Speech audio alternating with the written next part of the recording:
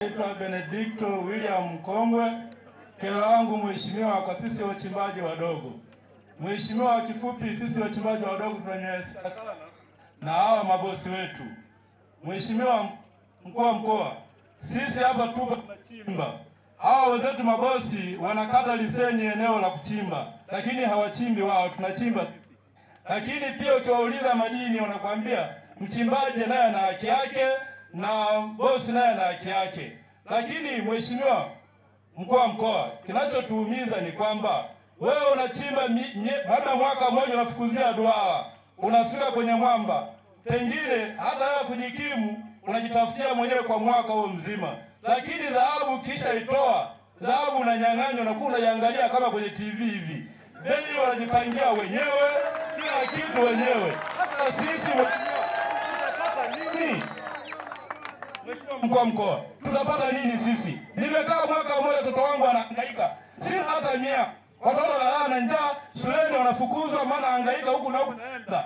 Sasa leo hii Mungu amenipa kwamba baba amehangaika mwaka mzima, mwamba wako huu hapa, leo dhahabu naangalia kwenye TV. Mheshimiwa, haki yangu mimi iko wapi? Sehemu hiyo moja, wengine haki zao wanatendewa, wana wana duara lao, wana, wana, wana mialo yao, bosi anakata asilimia zake, wao wanasaga mawe yao pale, mwalo wao wanaweka pale. Kwa hiyo wanapata hela kwenye dhahabu, wanapata hela kwenye rujibu. Hiyo ndio haki, mheshimiwa. Kwa nini mimi nisitendewe haki hiyo? Alikuja mkuu eh, katibu wa CCM wa mkoa alikuja, alizungumza kuhusu kituo cha polisi kiko pale. Jamani, pana vurugu hapa, sawa? Kuna maskari wengi sana pale. Leta kituo pale, wapange watu kabla kile kujengewa kijakisha kishaisema, wapo hapa hapa, sawa? Sio mpaka kae Mbeya kule ndio waje tena tunachukua na kumalizia pale, tunaenda polepole na kuomba, ndio ndio ya madini. yako wanapozungumza wananchi wafuatilie, lakini nataka kituo kile pale, wapange nyumba yoyote ile, wakae hapa. Nimemaliza. Omba niwape miezi mitatu, wao wameshamaliza hicho kituo cha polisi. Ukiahidi katekeleze, ahadi ni deni. Wahenga walisema, ukiahidi kwamba unajenga moja mbili tatu, kakamilishe. Sasa niwaombe, Hamisi Semba namfahamu, Apex na wajua, ni watu wanaojitambua, waelewa naomba wanikamilishie hicho kituo cha polisi. Ninaomba wanikamilishie hichi kituo cha polisi. Tarehe ishirini na tano mwezi wa nne mwaka elfu mbili na ishirini na tatu na kuja kukifungua hicho kituo cha polisi.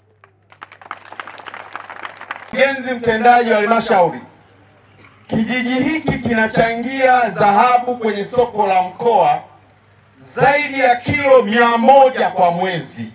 Ni mafanikio makubwa sana. Tunawaletea nini hawa Wanaitumbi? Tuwaletee kituo cha afya, tuwaletee barabara, tuwaletee maji ya uhakika. Hivyo meneja wa RUWASA wa wilaya hii aaje kufanya tathmini ya kuweka mradi wa uhakika wa maji kijiji cha Itumu. Hayo ndio maelekezo yangu, na dasi hapo kitoka mwandikie barua kabisa, maelekezo ya mkuu wa mkoa tarehe tisa mwezi wa pili mwaka elfu mbili na ishirini na tatu alitoa maelekezo, moja, barabara iwekwe kwenye mpango, ijengwe kwa kiwango cha changarawe. Hakuna mtu kuchelewa kwenda kuuza madini kwenye soko la mkoa, haraka sana anatakiwa awahi pale bila kelele zozote. Lakini la pili, natoa maelekezo kuhusiana na maji ya uhakika hapa. Mheshimiwa Rais wetu Dr. Samia Suluhu Hassan ametutuma tuje tutatue matatizo ya Watanzania. Kufika kila mahala, tuko sisi wasaidizi wake. Kwa hiyo ndugu zangu, hapa tunakuja kujenga kituo cha afya na kituo hiki cha afya lazima kijengwe msimu wa mwaka elfu mbili na ishirini na tatu elfu mbili na ishirini na nne. Mradi wa maji tathmini ni mwaka elfu mbili na ishirini na tatu elfu mbili na ishirini na nne. Barabara ya ishirini na nne. Hayo ndio maelekezo yangu.